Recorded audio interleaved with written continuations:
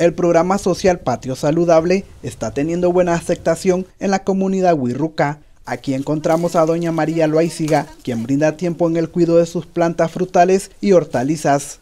Y estoy promoviéndolo con otras mujeres aquí en la comunidad, porque este, algunas me decían, pero si mi patio es pequeño, bueno, aunque sea en una pana, siempre hierbabuena, siempre un palito de tomate, siempre chiltoma y ya no la va a comprar.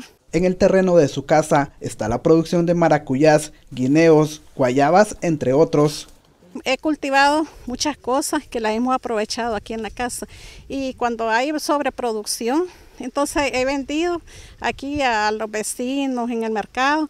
Los técnicos del MEFCA de Boaco le brindan asesoramiento en el cultivo y su misma comercialización. De esta manera, ¿verdad?